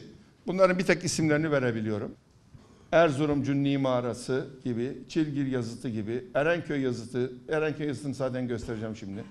Devam et. Bunlar hep hocanın kitaplarında e, Anadolu'da bulduğu erken Türk yazıtları. Yani biz kesinlikle buraya 1071'de gelmedik. Biz buraya 1071'de İslam ordusu olarak geldik. Ondan önce burası bizim kadim vatanımız beyler. Bizden önce bir kültüre ait iz yok. Varsa çıkartsınlar. Biz koyuyoruz. Çatalhöyük. Üzerindeki tamgalar Türk tamgasıdır. Bu hiçbir zaman Hristiyanların şu artı işareti Hristiyanların haç işaretini göstermez. Bu Türklerdeki dört tane okun bir yere doğru geldiği yani ok tamgasıdır. OQ diye okunur ve kuzeyde, doğuda, güneyde, batıda her yerde biz varız anlamındadır bu tamga. Konya Ermenek'te mesela gene aynı tamga gördünüz mü şurada bakın. Bakın. Haç tamgası. Bu Erenköy'deki e, yazıt. Şu anda İstanbul Arkeoloji Müzesi'ne ben teslim ettim 5 sene önce. Hocanın evinde duruyordu. 10 sene Ankara'daki etnografya müzesi almamış. Taş eserleri almıyoruz. Onlar değersiz diye. Biz diyoruz ki Anadolu'daki tapu senetlerimizden bir tanesi. Adam diyor ki biz taş eser almıyoruz. Şimdi Eskişehir Yazıcıkaya. Beyler hemen burnumuzun dibi. Yani bir pazar günü sabahleyin gidip Eskişehir'de çiğ börek yiyip gelebileceğiniz bir mesafe. Eskişehir Han ilçesindeki bakın şahane bir anıt. Neden? Bu yaklaşık 16 metreye 20 metre. Bir kayanın yüzü. Şuradaki ve buradaki yazıt kalmış bu günümüze. Buraları zaten eksik olmasın. Son yüzyıllarda başta şeyler olmak üzere köylüler ve e, çobanlar halletmişler. Oraları bütün yakmış, yıkmış, karalamışlar. Oradaki yazılar yok. Ama şu ki hem harf büyüklüğü yaklaşık 50 santim. Bakın şuradaki her harf büyüklüğü 50 santim. Şimdi onların orijinal resmini de göster. Bakın bu onların orijinal resmi. Şimdi şuna dikkat edin. Burada bir B görüyorsunuz değil mi? Bütün Batı bulunduğu 18. yüzyıldan beri bunu baba diye okumaya çalışıyor ama gerisi gelmiyor. Çünkü burada baba yazmıyor. Bunu Kazım Hoca'nın nasıl okuduğunu şimdi söyleyeceğim size ama şuna dikkat edin. Yani B'ye benziyor ama ortada bir bitişiklik yok dikkat ederseniz. Bunu da ateş diye okuyorlar. Bu da at, ateş değil bu da at. T'si yani T işareti. Ve şuradaki harfin uzunluğuna bakın. Buradaki harfin yazının kelimenin uzunluğuna bakın. Ne oluyor? Napolyon Akka Kalesi'nde Osmanlı ile savaşıyor. İngilizlerin durumu öğrenmesi lazım. İstanbul'a bir casus gönderiyorlar binbaşı. Adam sakal bırakıyor. Üzerine işte bizimkiler gibi giyiniyor. Bir deveden, eşekten bir kervan düzüyor kendisine. Başlıyor İstanbul'dan nereye gidecek? Akka'ya savaşı öğrenecek. Yani ne oluyor, kim kimi yeniyor falan filan gibi. Gayesi bu. Ama kervan tesadüfen bizim Eskişehir'de Yazılıkaya'nın önünde akşam kalıyor. Sabahleyin bir oynuyorlar. Adam taşta bu yazıyı görünce önce defterine kopyasını çekiyor alıyor. Ondan sonra da şurada bakın Midya yazıyor görüyor musunuz? Kendinizi zorlarsanız Midya'da okursunuz. Heh işte diyor Midas'ı buldum diyor. İngiliz subayı ya. Antik Yunanca'da okumuş ya. Yunan'da da Midas diye bir kavram var ya. Hani bizim Nasrettin Hoca'nın yaşadığı, öldüğü tarih belli mi? Aynı şekilde o antikte de şey Yunan e, mitolojisinde de Midas'ın hani Midas'ın kulakları diye duymuşsunuzdur. Tiyatrosu falan filan olan şey. Midas'ı buldum diyor. O günden beri buranın adı Midas. Kazım Hoca diyor ki beyler burayı Midas mı okudunuz? Midas. Eski Yunanca öyle mi? Peki. E burayı da okuyuverin bir zahmet. Yok. Peki gerisini okuyun. Yok. Burayı okuyun. O da yok. E peki nasıl Yunanca oluyor bu? Nasıl Midas oluyor? Artı bu Midas anıtının e, hikayesinin biraz daha da bizim için üzücü. Ankara'ya giderken eski e, şeyde e, Polatlı'da yassı öğük var. Hiç gideniniz var mı bilmiyorum. Lütfen oraya da bir Ankara'ya giderken 15 dakikanızı alır. Bir uğrayın. Oradaki de Kurgan'ı 1950 yılında bir Alman arkeolog Türk hükümetinden müsaade alıyor. Geliyor. Gidiyor bizim Ereğli'den, kömür işletmelerinden 7-8 tane işçiyi kiralıyor, getiriyor. Yandan delhiz açıyor. Direkt tak e, kral odasına ulaşıyor. Kral odasını çok güzel bir şekilde soyuyor. En önemlisi Midas dedikleri kralın kafatasını alıyor Almanya'ya götürüyor. İçindekiler şu anda Frik eserleri olarak Ankara Etnografya Müzesi'nde sahneleniyor. Harika eserler. Ama giden kafatası Almanya'da. Şimdi onun adı Midas oluyor. Adamın Almanya'da daha sonra şeyini yapıyorlar. Ee, hani şu kafatası varsa giydirilme yapılıyor ya plastik e, şeyle, teknolojiyle, bilgisayarda. Ortaya çıkan tamamen Orta Asya tipi. Çünkü Friklerin yazısı da işte bu yazıda hiçbir şekilde Yunan yazısıyla alakası yok. Artı Frikler hakkındaki tek bilgiyi ölen Akurgal'ın kitabında bulursunuz. O da ne diyor? Doğumdan önce 7. 8. asırda Trakya'dan Anadolu'ya girdikleri bilinen menşei belli olmayan halk. Ya beyler nasıl menşei belli değil? Adam yazı bırakıyor. Daha ne yapsın? Geliyor önce Truva'yı hallediyorlar. Ondan sonra İç Anadolu'da Ankara, işte Eskişehir, e, Afyon o bölgede e, yerleşiyorlar. Bu onun okunması. Şimdi buralarda şuna e, en önemli şey e, bunların hepsi mezar taşı gibi düşünün. Tamam? Bu da zaten Hakan'ın, Han'ın yakılıp vücudundan canının göğe, Tanrı'ya ulaşmasını sağlama töreni. Yani eski Türklerde özellikle başkomutan gibi, Hakan gibi insanlar için eğer halkına çok faydalı iş, faaliyetler yapmışsa ölümünde, yuh töreninde bir ant içiliyor. O ant ne? Yani bizde nasıl musalla taşında öldükten sonra Müslümanlıkta nasıl bilirdiniz, iyi bilirdiniz var. Orada da eğer halkı için iyi bir insansa o canının çünkü ruhtan çok vücutta canın olduğunu, aklın da can olduğunu ve vücuttan çıkıp bunun göğe Allah katına çıkacağı inancıyla vücudu yakılıyor. Bu da yakma töreni yapıldığı yer ve buradaki yazılarda da işte canı göğe atıldı. Ozmoz. Ozmoz bizim aynı bugün biyolojide bildiğimiz ozmoz olayı. Yani bu ortamdan diğer ortama geçmek. Bu dünyadan öbür ortama geçmek gibi. İşte onun için Oğuzlar. Yani Oğuzlar İskandinavlarda elinde kılıçla ölmek makbul. Neden? Savaşırken öldüğünüz zaman Ozluğuna inanıyor. Yani öbür dünyaya gideceğini. Bu orada hiç adı sanı geçmeyen, ondan daha ünlü bir yazıt. 100 metre ileride ilk gittiğimizde tertemizdi. Bakın ortasını bir maalesef bizim artık söylemeyeyim eşeklerden biri diyeyim. Matkapla ortasını delip hem de traktörün uçkuruyla altın arıyor içinde. Böyle bir eserde ve böyle bir esere ne Milli Eğitim Bakanlığı, ne valilik, ne kaymakamlık hiç kimse sahip değil. Üzerinde altı satır yazı var. Orada ormanın içinde de öyle durup duruyor. Her türlü yıkıma açık. Şimdi buradaki bir tek şunu söyleyeyim geçelim. Bakın gene keçi, dağ keçisi ve uzun şeyi gördünüz. Tonyukuk anıtı. Bu da Orhun yazıtlarında ki bakın dağ keçisi. Boynuz yukarıda. Yani bu boynuzun Alatavu dağlarında insandan çok daha hızlı ve yükseğe tırmandığı için, insanların 5000 metreden sonra oksijensiz kalıp öldükleri için, tepeler 7 metre, 7000, 6000, 5000 metrenin üzerinde olduğu için Alatavu dağları zaten canın alındığı dağlar. Alatavu, Tanrı'nın canı aldığı dağ. Yani orada yukarı çıkarsan ölüyorsun. Onu tabii oksijensizlikten falan olduklarını doğumdan önce binlerce sene önce bilmeleri mümkün değil. Canı orada Tanrı alıyor. Ama dağ keçisi oraya sizden hızlı çıkıyor, ölmüyor, ciğer yapısı farklı, daha yükseğe çıkabiliyor. O zaman sizden üstün hayvan. Onun için yazıtlarında mezar taşları diyelim, onun sembolünü kullanıyor. Şimdi efendim bu Orhun yazıtlarında doğu yüzü.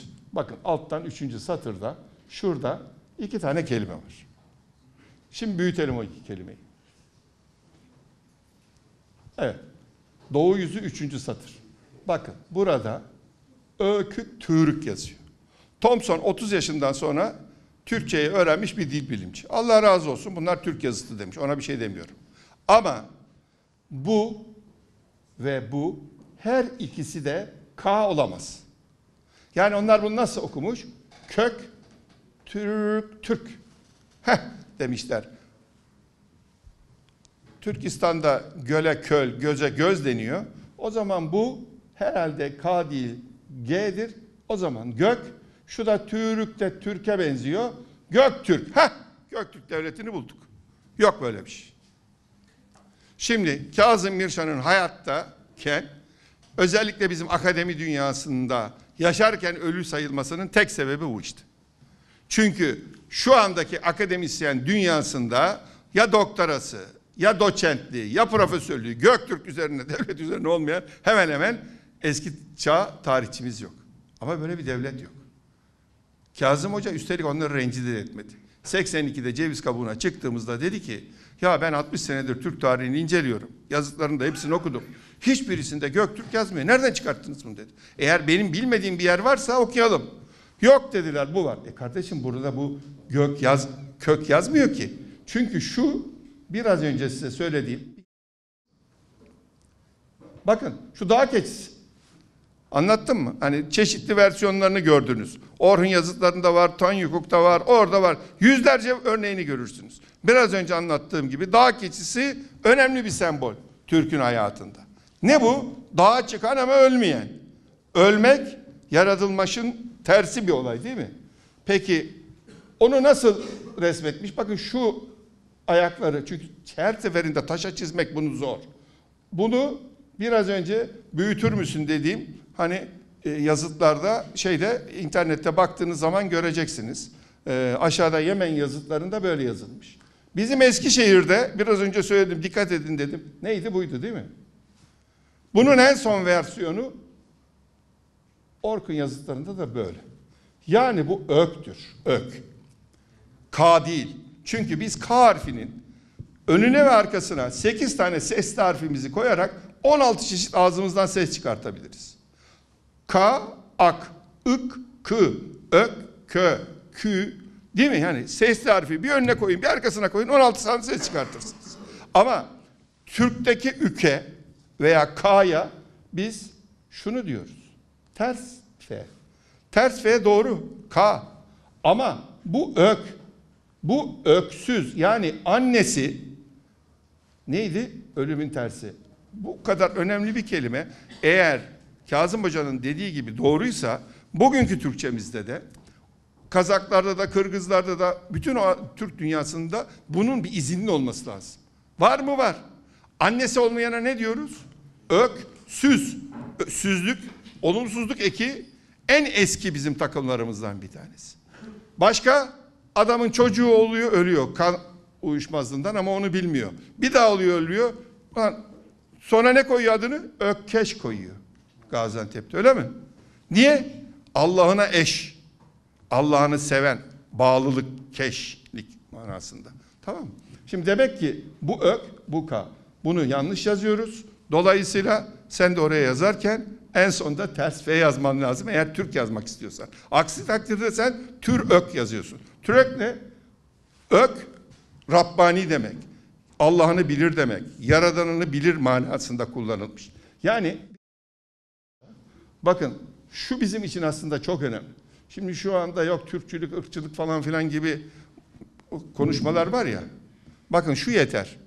Bizim Bilge Kağan, Kültigin ta 1200-1300 sene önceki yazıtlarımızda milletini tarif ediyor. Ökük türük diyor. Yani Rabbini bilir, yaradanını bilir, bir fikir etrafında birleşmiş türler diyor. Şimdi bugün de Kerkük'teki Türk kendine Türk diyor mu? Peki Tuva'daki de diyor, Ural'daki de diyor, Bosna'daki de diyor. Kimisi sarışın, kimisi mavi gözlü, kimi kısa boylu, kimi uzun boylu. Burada bir ırk birliği var mı? Olabilir mi? Olamaz. Ya beyler son iki devlette bir şey yaşıyoruz. Suriye'de ve Irak'ta. Ondan önce de başka ülkelerde. Adam savaşıyor, öldürdüğü kabilenin veya karşı tarafın erkeklerini ölüp kadınlarını götürmüyor mu?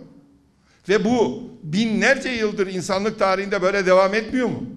Hangi ırktan bahsediyorsunuz? Artı biz biraz önce dedik ki 50 milyon kilometre karenin üzerindeki bir coğrafyadaki Türk kültüründen bahsediyoruz. Bu kültürde biz bir ada devleti Japonlar gibi veya İngiltere gibi değiliz ki. Biz hep iş devletiz. Devamımızda diğer devletlerle temas halindeyiz. Onlarla ilişki savaş halindeyiz. Öyle mi? Dolayısıyla bu bir kültür birliğidir. Zaten anladığınız manada şu gelişmiş kültüre bağlı olan insanların adıdır Türk. Onun için de Kültigin ve Bilge Kağan burada ökük, türük diyor. Bu türler demek. Türlü insan. Burada Türk yazmıyor. Bunun Türk yazması için şunun ters F olması lazım. Son hikaye. Bundan bitirelim isterseniz. Şimdi Kazım Hoca'nın en yakın tarihli iddialarından bir tanesi de bu yazıya bizim Türklerin 732'de geçtiklerine dair e, ortadaki hatta bizim birçok akademisyenin de kabul ettiği kitaplarımızda yazan Orhun yazıtları 732'de mi yazıldı? Bir tek itirazını söyleyeceğim. Dahası var. Geç oldu, yoruldunuz. Hoca diyor ki bu bilgi İslam tarihiyle çelişiyor. Ya İslam tarihi yanlış ya bu yanlış. Neden? Peygamberin öldükten sonra dört halife devrini biliyoruz. O bittikten sonra ki dönemde şu Ceyhun Nehri ki o devirde de buranın adı Türkistan'dır. Kutaybe bin Müslim 40 bin kişilik ordusuyla buraya geçiyor. Önünde Baykent var şu. Alıyor, öldürüyor, esir ediyor. Buhara var. Öldürüyor, esir ediyor, geçiyor Semerkant'a, geçiyor Fergana'ya. Ne kadar sürüyor? Bakın 704'ten 716'ya kadar bu haltı yiyor. Talkan katliamı dahil olmak üzere kendi tarihçilerinin yani Arapların kendi tarihçileri. Biz, bizim zaten bu işlerde hiç umurumuzda değiliz. Bunlarla ilgilenmeyiz. Bu bizi ilgilendirmiyor ki. Ama kendi tarihçileri diyor ki yalnız Kutaybe bin Müslüm 50 binin üzerinde Türk katletti. 716 onu öldürüyorlar. Yezid geliyor. Bu öbür Yezid değil. Bu Yezid en mühellem. Bu da Cürcan katliamı dahil olmak üzere yaklaşık 50 bin öldürüyor. Toplam 100 bin. Bu şehirlerdeki Muaviyen Nehir'de Türklerin tamamını esir alıyor. En az 50 bin Türk gencini getiriyor Arabistan'a esir olarak. Kerkük, Kerkük diyorsunuz ya. Kerkük'ün ilk kurucuları işte buradan esir getirilen Türklerin yerleşme bölgesi. Ondan dolayı tarihten bugüne kadar Kerkük yalnızca Türklerin yaşadığı bir yer. Peki şimdi esas mevzuya gelelim. Bunlar Arap tarihçileri ki Tabari en makbulleridir. O başta olmak üzere. Beş tane en eski Arap tarihçisinin söylediği bu. Ve bunu yalandır diyen de yok bu tarihler doğruysa ki bu İslam tarihi. Şimdi kardeşim Bilge Kağan'ı sen 683'te doğuruyorsun. 734'te de ölüyor. 734'te öldüğünde ne oluyor? Bu 684-731 arasında da Kültigin e, komutanlık yapıyor. Bu bunun bir yaş küçüğü. Peki Semerkant seferi yaptırıyor Kültigin'e 711'de. E 711'de senin şey e, Kutaybe bin Müslüm Semerkant'ı almış bütün milleti doğramış. Burada bir tuhaflık görmüyor musunuz? Bir tarihlerde bir yanlışlık var beyler. Ya Kültigin ve Bilge Kağan dediğiniz ki Orhun yazıtlarında ne diyor Bilge Kağan ve Kültigin? Diyor ki Okyanus'tan Hazar'a kadar. Yukarıda e, şeyden e, Sibirya'dan aşağıda Himalaya'ya kadar olan bölgenin hakimi. 50 bin kişilik Çin ordusunda yendiği için Kültigin meşhur. Öyle mi? Ya 50 bin kişilik Çin ordusunu yeniyorlar. Ama kendi kardeşlerinin burada takır takır 20-25 sene 100 bin kişinin kesildiği bölgeye hiç gelip müdahale etmiyorlar. Ve adı da Göktürk Devleti oluyor. Sizde bir tuhaflık yok mu burada beyler? Şimdi bunu söyleyince Kazım Mirşat ya sen inşaat mühendisisin ne anlarsın bu işten diyorlar. Burada inşaat mühendislik, makine mühendislik diye bir şey söz konusu değil. Eğer Türk hissediyorsak kendimizi bu bizim tarihimiz.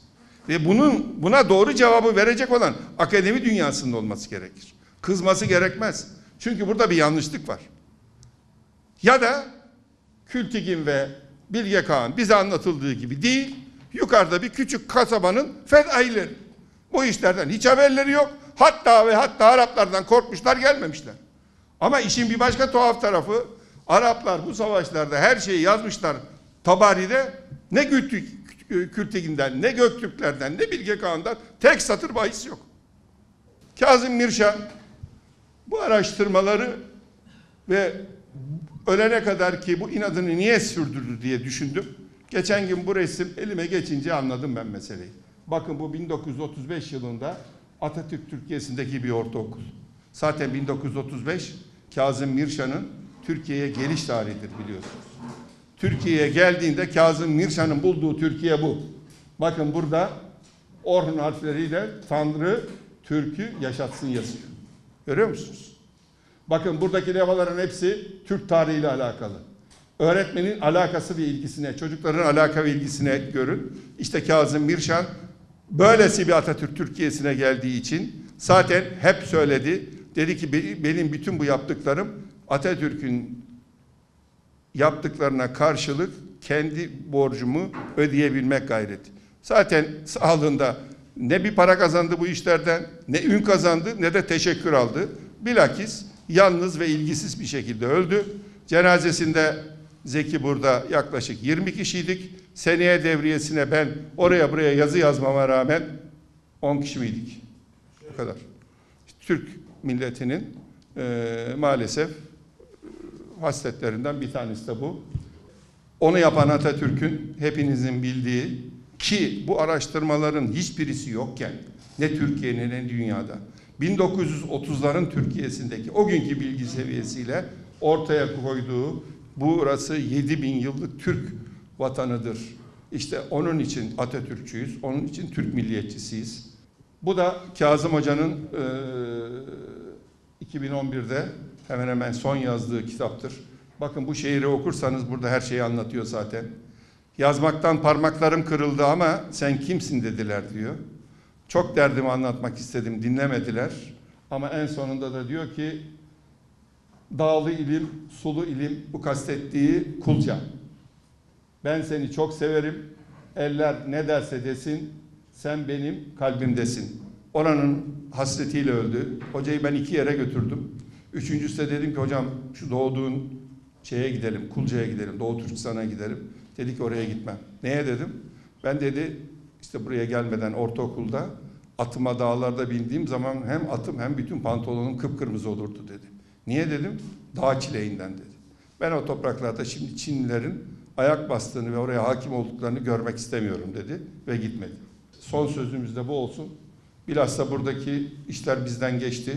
Konuşuyoruz ama bundan sonra yapacak olanlar Türk gençleri atalarının tarihine ve kendisine sahip çıkacağı umuduyla saygılarımla.